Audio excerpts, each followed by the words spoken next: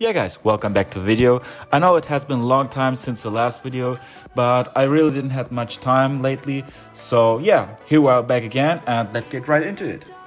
As you can see, I started by cleaning the internals of the main gearbox and yeah, there were lots of roll bearings and yeah, I took them apart, cleaned them all thoroughly in acetone and sometimes gasoline. Next, I put everything back together. While doing that, I used a ton of grease that's simply to ensure that nothing breaks uh, down later. And the grease, of course, also helps to keep the rollers on the shaft because otherwise they just would have fallen down. Here we go.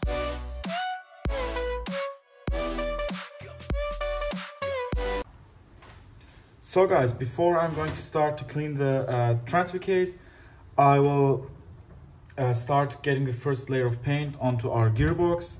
And yeah, I also cleaned up the shifting lever. And yeah, now it goes onto it like this. Moment. Yeah, it got on it like this. Um, I tried to cut out um, paper gasket for the two surfaces, but I yeah I didn't I wasn't able to do it properly. So therefore I got the silicone type gasket maker and yeah, I'm just going to spread it between the two surfaces and yeah, that should also be fine and it shouldn't leak.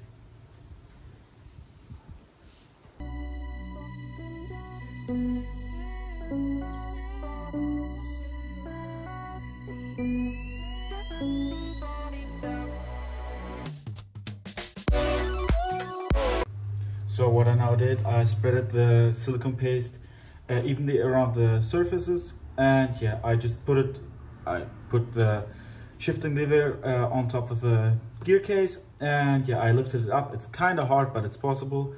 And yeah now i can see the penetration level of the silicone. And yeah around here it's perfectly fine. But if you look here here i used uh, not enough of the paste. And yeah now i'm going to put more paste onto the surfaces. And by doing this i can confirm that there's enough silicone paste on the area and you also don't want to use too much of it too much of it won't be good either because then it comes spraying out uh, everywhere and yeah that's not good if for example it drips down into the transmission uh, you have a dirt in your oil and you don't want to have that yeah, so now I just put in two bolts. That's for squeezing the two surfaces together. Uh, later I will take them out and use six completely new bolts. And yeah, this is our transmission at the moment. And with the help of a little bit of editing.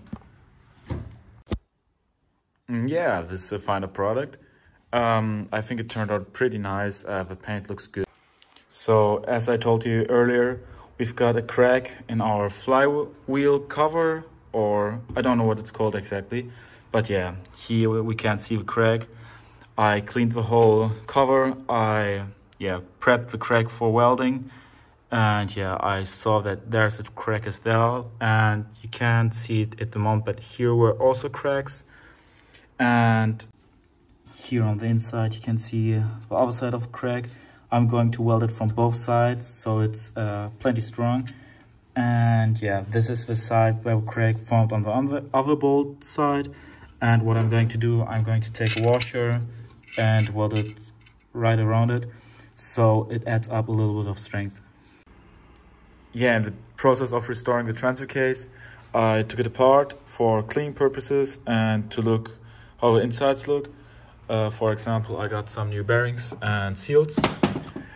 And yeah, while I was doing that, I took apart the needle bearing and I now cleaned it firmly and oops.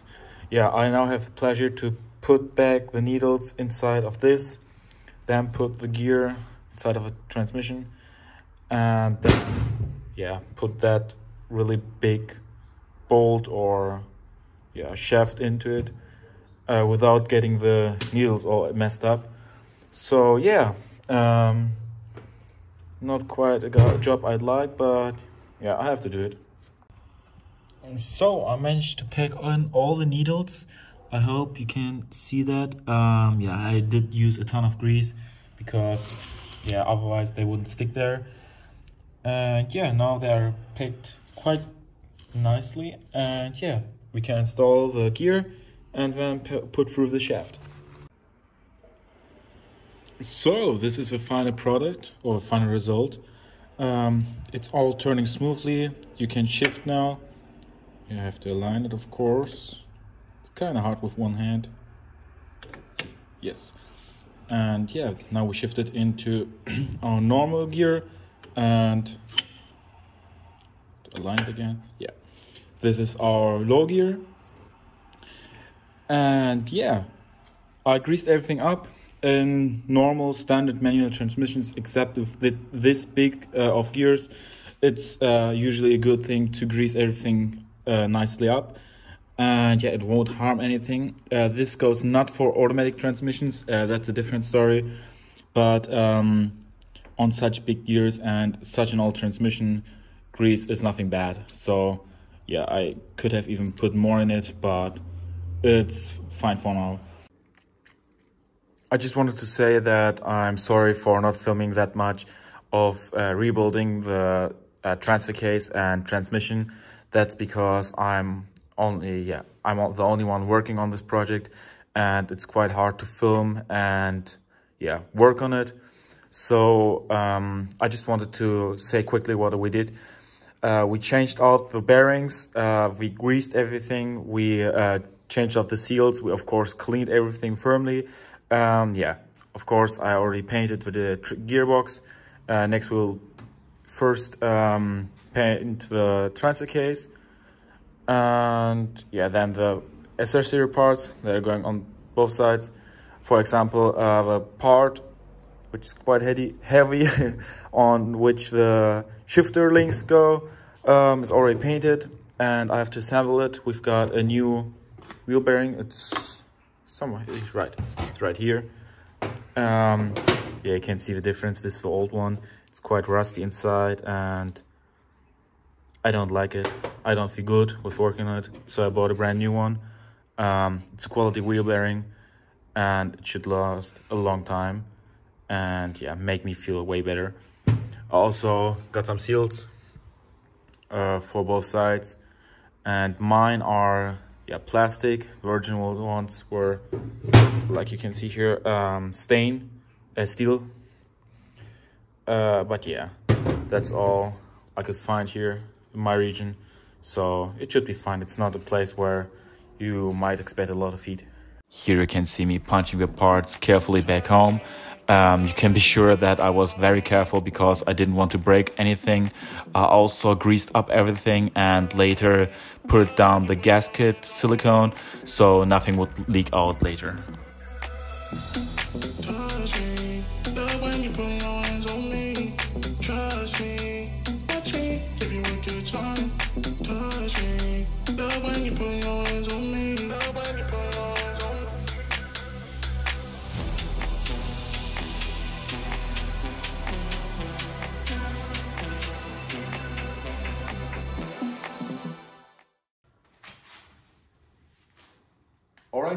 Next on the list is the rear differential. And yeah, I already went through the hassle and removed the exo bolts and it was quite hard for me because I didn't have the right socket. And yeah, the next problem was uh, one side is a 31 millimeter, uh, excuse me, 41 millimeter and the other side is a 36 millimeter socket. And yeah, so I went to a local mechanic shop, asked them if they could remove both bolts and they did it, so that's quite nice for me. And yeah, now uh, we will move on to remove the differential cover, get out with old oil and look how the gears inside look, if there are any teeth broken or something like that. And if that's good, we will remove the C-clips from the axles, take out the axle itself, and then clean everything, and yeah, move on.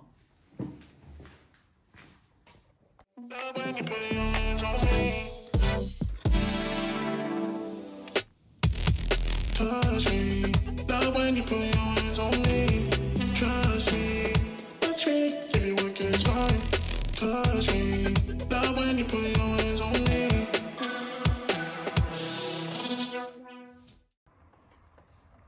So I'm trying to let the differential bleed out. And yeah, there's a lot of oil in there. And yeah, I think it might take a while. But yeah, we have time. It's no problem.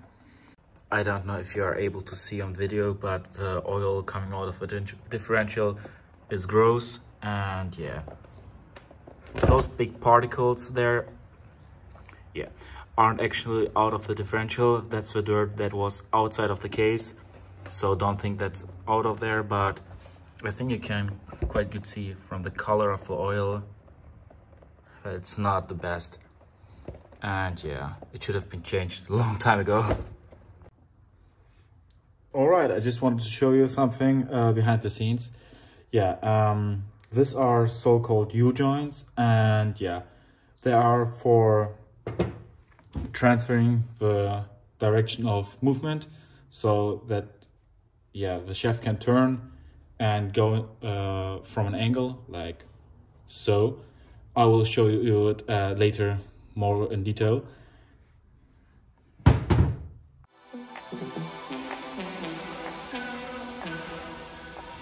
give you a good time.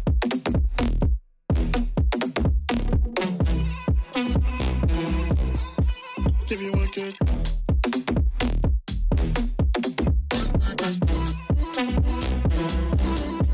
give you a good time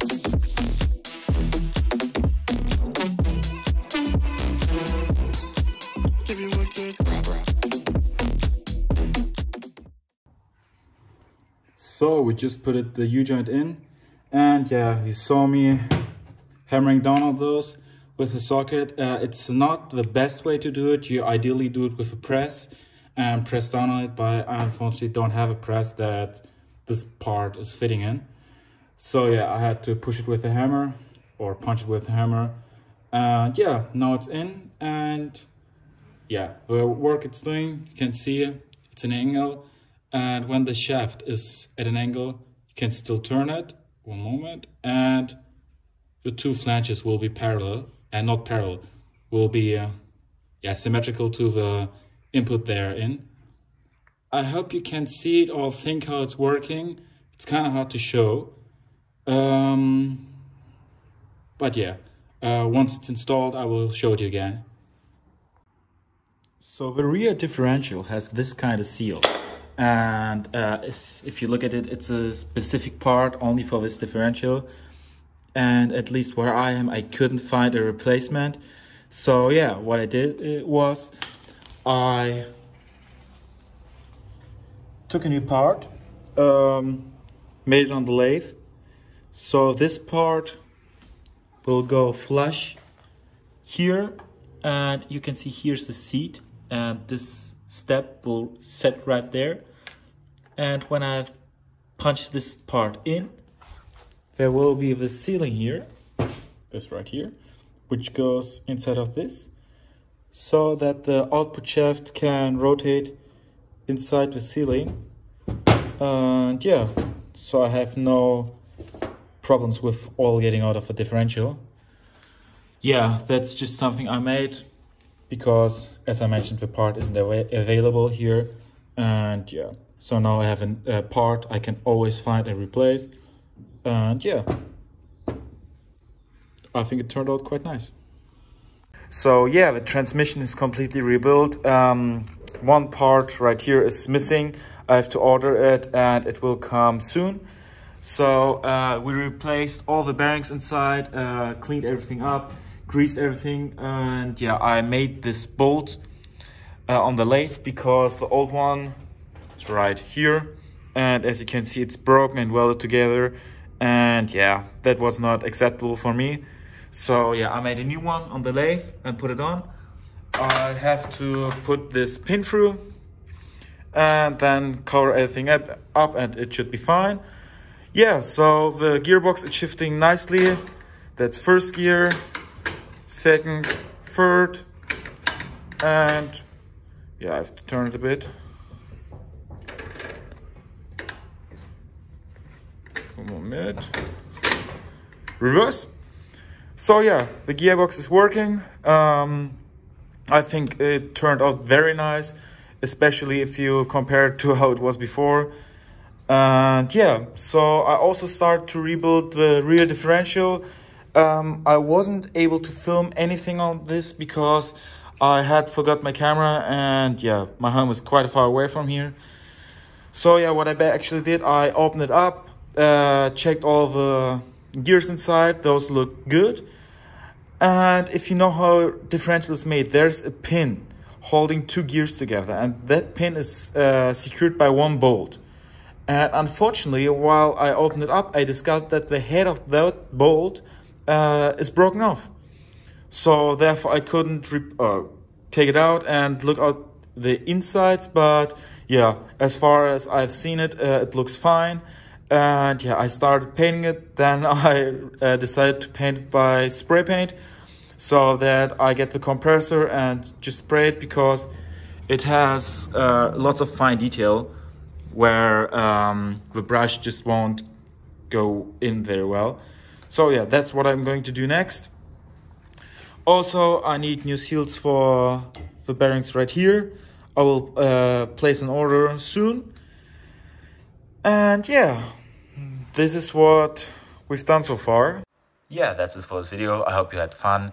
If you have something to share um, or some suggestions how I could make things better, please let me know down in the comments.